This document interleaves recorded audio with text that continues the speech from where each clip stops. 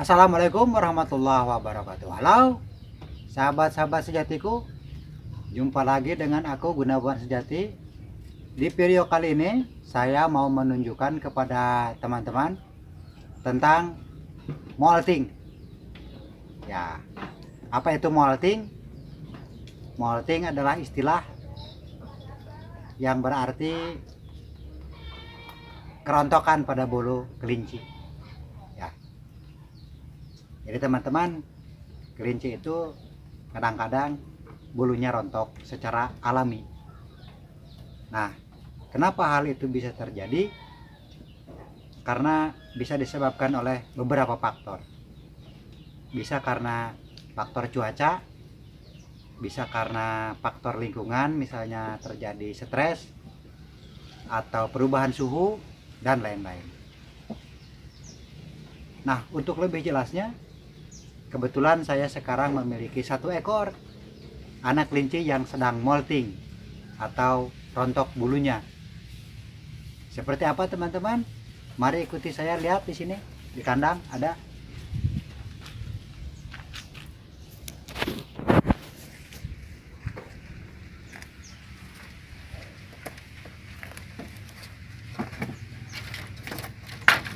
Nah ini teman-teman Waduh dia sedang rebutan makanan. Tapi tidak kelihatan. Kita coba ambil aja. Ya.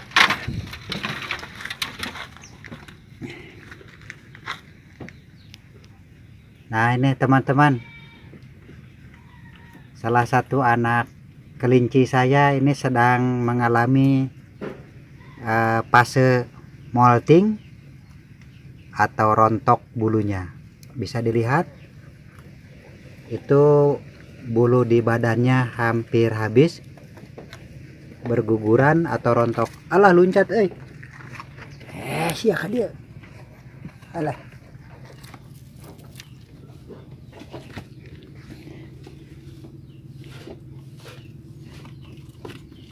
Dan ambil rumput dulu dan di situ dan. Biar dia diam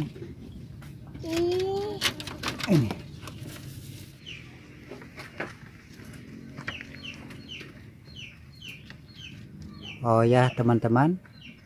Istilah molting mungkin berasal dari bahasa Inggris atau bahasa Latin. Atau mungkin juga dari bahasa Zimbabwe saya tidak tahu. Yang jelas istilah molting itu bisa dipergunakan untuk merujuk pada bulu hewan yang rontok. Bisa diterapkan kepada hewan-hewan lain juga bukan hanya sekedar kelinci nah seperti teman-teman lihat ini bulunya yang dari badan ya bagian apa perut punggung kemudian pantat dada ini semua hampir habis. Yang tersisa tinggal bagian kepala. Nah ini sudah berlangsung sekitar satu minggu teman-teman. Seperti ini. Awalnya saya mengira ini penyakit ya terserang penyakit kulit seperti budung atau kudis kurap gitu kan. Gatal-gatal sehingga Allah kabur dewa ya. eh siapa? Dia. Awalnya saya kira ini penyakit tapi ternyata setelah saya browsing di beberapa situs di Google ternyata memang ini adalah peristiwa molting yang alami ya biasa terjadi pada hewan peliharaan khususnya kelinci. Nah lalu bagaimana cara menyikapi atau uh, memperlakukan kelinci kita pada saat dia mengalami molting seperti ini teman-teman? Ya yang pertama tentu saja jangan panik jangan takut jangan heran biasa aja. Karena itu alami namun tentu harus diperhatikan terutama apabila sedang uh, berlangsung ketika dia anakan seperti ini. Nah untuk menyikapi atau untuk memperlakukan kelinci kita yang sedang molting seperti ini teman-teman. Pertama kalau saya kandangnya ditutup ya kalau malam supaya uh, menutupi atau menghalangi daripada terpaan angin malam.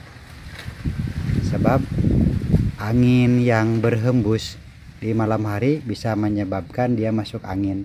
Karena apa? Kan bulunya rontok ini. Terutama di badan ini hampir habis. Ah, tidak ada bulunya. Nah uh, sebagai contoh teman-teman uh, misalnya ini yang sedang molting uh, pada saat maghrib atau menjelang malam ini kandangnya ditutup. Nah saya mempergunakan ini kain bekas untuk menutup bagian yang apa terpapar angin yang kemungkinan angin masuk ya celah itu celah kawat itu bagian depan. Nah kira-kira ditutup seperti ini kalau malam hari.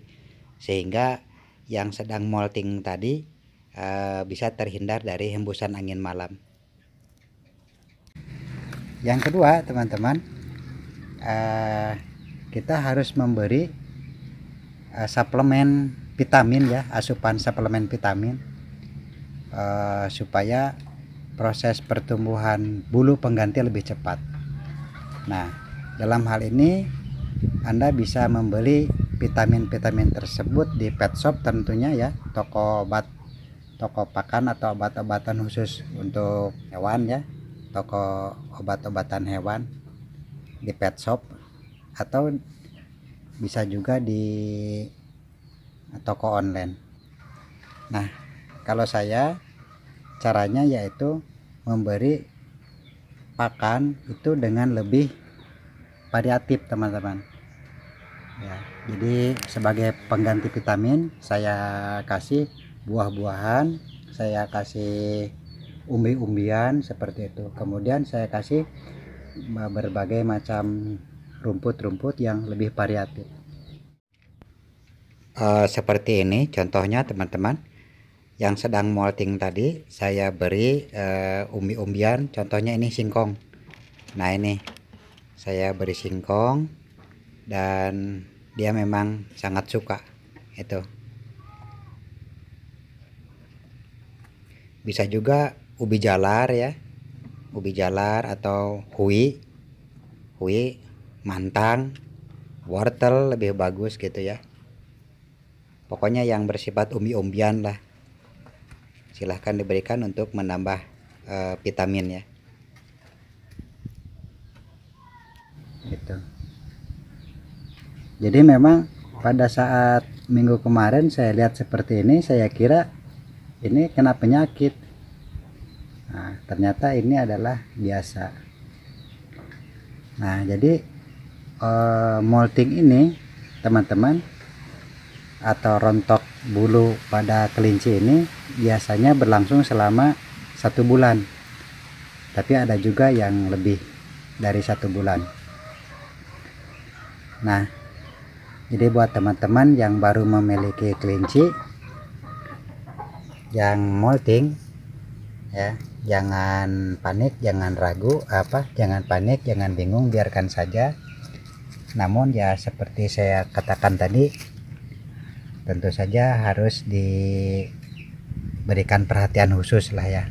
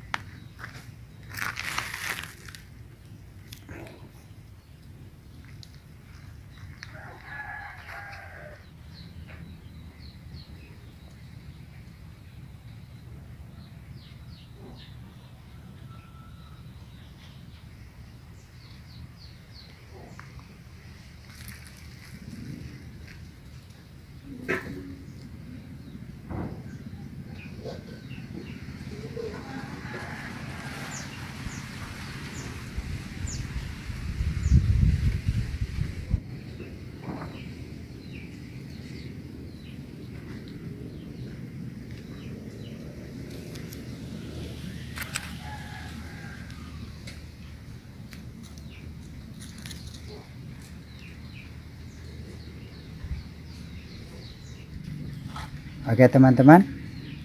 Demikian saja untuk video kali ini. Mudah-mudahan bulu si kucrit ini. Ini namanya si kucrit.